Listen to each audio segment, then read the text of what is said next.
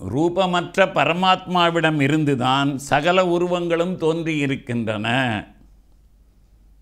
அந்த இந்த குணத்திற்கு அனுகூலமான ரூபம் முத்திரை ஆயுதம் முதலியவற்றோடு திவ்ய மூர்த்திகளை காட்டினால் அவற்றில் மனசு ஈடுபடுகிறது. புரியாத பரமாத்ம தத்துவத்தை நமக்கு புரிகிற விதத்தில் உபாசிக்க முடிகிறது. பெரியவாளுடைய வார்த்தை. இப்போ நாம் புரிஞ்சுக்கணும். இப்போ இந்த உலகத்தில் குணம் குணம்னு ஒன்று சொன்னோம் இல்லையா? சகல குண நற்குண சம்பன்ன இதெல்லாம் சொன்னோமே கல்யாண குணங்கள் அப்படின்லாம் சொன்னோமே பொதுவாக இந்த பிரபஞ்சத்தினுடைய சிருஷ்டியே மூன்று குணங்களுடைய சேர்க்கையால் தான் ஆகியிருக்கிறது. இதை முதல்ல புரிஞ்சுக்கணும்.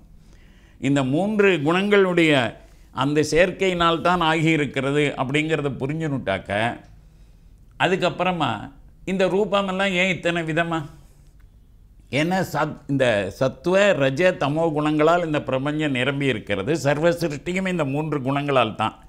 மூன்று குணங்களுடைய பெர்மிட்டேஷன் அண்ட் காம்பினேஷன் அதாவது சேர்க்கை. அதன் மூலமாகத்தான். அப்போ சத்துவ ரஜ தமஸ். இதெல்லாம் அதில் இருக்கிறது. இந்த சத்துவ ரஜஸ் தமஸ் அப்படின்னு வருகிற போது இந்த சத்துவ குணத்திற்குரிய மனோபாவத்தை கொண்டிருக்கிற ஒரு மனிதனுக்கு சத்துவ குண உருவமாக இருக்கக்கூடிய பகவானைத்தான் அவனால் கற்பனை பண்ணி பார்க்க முடியும். சில பேர் சத்துவ குணமுடையவர்கள் யார் அப்படின்னு பார்த்தாக்க இப்போ சிவாலயத்தில் போய் வழிபடுறா. விஷ்ணு ஆலயத்தில் போய் வழிபடுறா. இதெல்லாம் சத்துவ குண வழிபாடு. இந்த சத்துவ குணத்திலேயே கூட கொஞ்சம் ரஜோகுணமெல்லாம் கலந்துருக்கும். அப்படிப்பட்டவாளுக்கு அந்த ரஜோகுண ரூபங்களில் தான் இந்த வழிபாடும் வரும். இப்போ சத்துவகுணம் என்று சொன்னாக்க உருவமும் இருந்து உருவமற்றதும் இருக்கக்கூடியது லிங்கம் சிவலிங்கம்.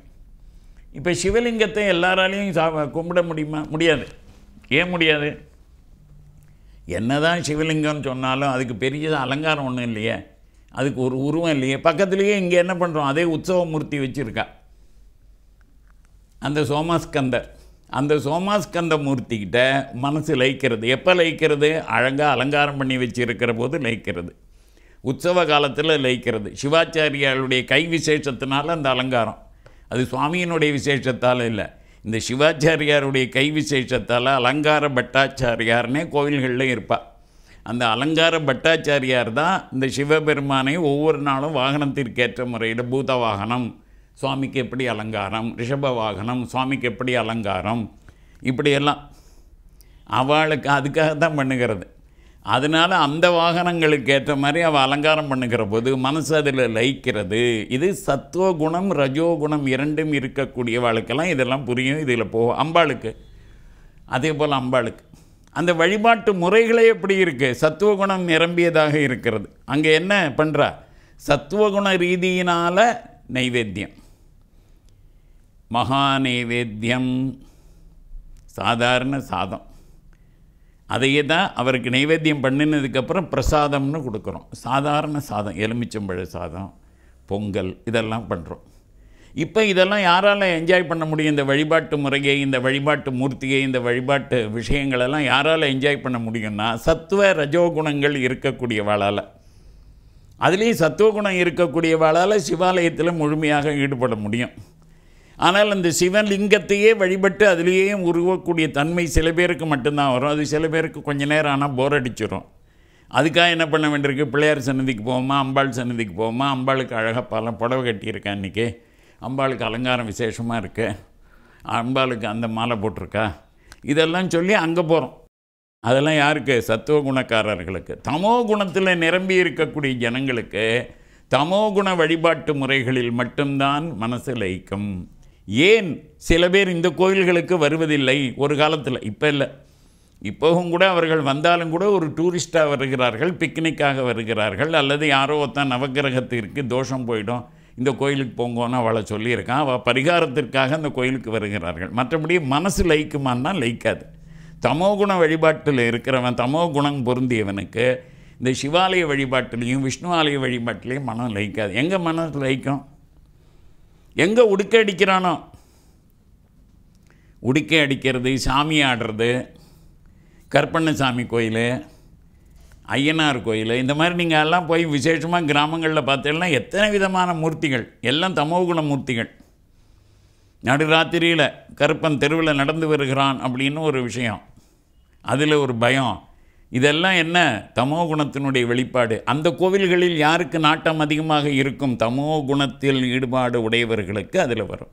எல்லாருமே எல்லாரும் ஒரு காலத்தில் எங்களுடைய குலதெய்வம் எங்கள் கிராம தேவதை அப்படின்னு எல்லாரும் தான் போகிறோம் ஆனால் அதில் மட்டும்தான் மனசு லயிக்கும் ஒரு சிவன் கோயிலில் பண்ணுற தேவார பாடலில் ஒருத்தர் ஓதுவார் பாடின்னு இருக்காருன்னா மனசு லயிக்காது லலிதா சஹஸ்ரநாமம் ஒருத்தர் பாடின்னு இருக்காருன்னா மனசு லயிக்காது ஆனால் இதே கிராமத்தில் சாமி ஆடுறான் ஒருத்தன். இன்னொருத்தன் உடுக்க அடிக்கிறான். ஊ, ஊன்னு அவன் கத்துறான். அந்த கத்துகளில் அதில் ஈடுபடக்கூடிய ஜனங்கள். இவங்களும் கொஞ்ச நேரத்தில் ஆட ஆரம்பிச்சிடுறாளுங்க. எத்தனை பெண்கள் கோவிலில் போய் ஒருத்தன் உடுக்க அடிக்கிறத பார்த்துவிட்டு சாமி ஆடுறதை பார்த்துவிட்டு தானும் ஆடுகிறார்கள். இது எல்லாம் தமோ குணத்தினுடைய வெளிப்பாடு. அந்த தமோ குண தெய்வத்திற்கு தமோ குண வழிபாட்டு முறைகள் தான் இருக்குது ஆடு வெட்டுறது கிடா வெட்டுறது கோழி வெட்டுறது எல்லாம் நூற்றுக்கணக்கில் வெட்டுறது. அது மட்டுமா? அது மட்டும் இல்லை குருதி வழிபாடு குருதி பூஜைங்கிறான். குருதி பூஜை பண்ணுறாங்க அப்படிங்கிறான். என்னென்னவோ சொல்கிறானுங்க அதுக்கெல்லாம் காரணம் என்னென்னா அவளுடைய மனசு எப்படி இருக்கோ எத் பாவம் தத் பவதி. அதை புரிஞ்சுக்கணும். அதனால தான் அந்த கோவில்களில் நெய்வேத்தியம் என்ன? நம்ம மாதிரி சக்கரை பொங்கலை வச்சு வழிபடுவாளா. கருப்பண்ணசாமிக்கு சக்கரை பொங்கல் வழிபாடுன்னு எங்கேயா கேள்விப்பட்டிருக்கல நீங்கள் கருப்பண்ணசாமி கோயிலில் ஆடு வெட்டுத்தனம். கிடா வெட்டு. கெடா வெட்டு இருந்தால் தான் அது கருப்பண்ணசாமி கோயிலை தவிர சக்கரை பொங்கலில் இதே அம்பாள் சந்நிதியில் கொண்டு வந்து கற்பகாம்பிகா சந்நிதியில் கெடா வெட்டு இருக்குமா? இருக்காதுல்ல. அப்போ ஏன் இங்கே மட்டும் சக்கரை பொங்கல்? இங்கே மட்டும் தேவாரம்? இங்கே மட்டும் திருவாச்சகம்? இங்கே மட்டும் அபிராமி அந்தாதி? ஏன் இங்கே இந்த சந்நிதியில் இதெல்லாம் பாடுறா? இவாள்லாம் சத்துவ குணக்காரா? இங்கே வந்திருக்கிறவாள்லாம் அது மட்டும் இல்லை அம்பாளே சத்துவகுண ஸ்வரூபினி. அதனால் வழிபாட்டு முறைகள் சத்துவகுண ஸ்வரூபம். நைவேத்தியம் சத்துவகுண ஸ்வரூபம். இதை புரிஞ்சுக்கணும். இதை புரிகிறதுக்காகத்தான் இந்த வடிவங்கள் அலங்காரங்கள் எல்லாமே இதில் தான் இருக்கிறது. மூர்த்தி பூஜைக்கு அந்த லெவலில் பிரதம பிரதிமா பூஜா நான் முன்னையே சொல்லியிருக்கேன். இது ஆரம்ப லெவலில் இருக்கிறவாளுக்கு இதுதான் அது மனசில் போய் பதியும். அப்படி மனசில் போய் இதுதான் பதியும் அப்படிங்கிற காரணத்தினால அவர்கள் அதை ஏற்றுக்கொள்கிறார். இதெல்லாம் தப்பு. மூர்த்தி வழிபாடே பிசகு. கடவுள் எந்த ஒரு வடிவத்திலும் இருக்க முடியாது. உங்கள் சாமி எல்லாமே வெறும் கல் வெறும் கற்பனை. அதனால் இந்த சிலையை வழிபடாதீங்க அப்படின்னு யாராவது சொன்னார்கள் என்றால் ஒன்று அவர்கள் வேண்டுமென்றே இதை திட்ட வேண்டும் என்ற எண்ணத்தோடு கிரிட்டிசைஸ் பண்ணணுங்கிற எண்ணத்தில் சொல்கிறவனாக இருப்பான். இல்லைன்னாக்க அவன் புரியாதவனாக இருப்பான். இல்லைன்னா சித்த புருஷனாக இருப்பான் நட்டகல்லும் பேசுமோ?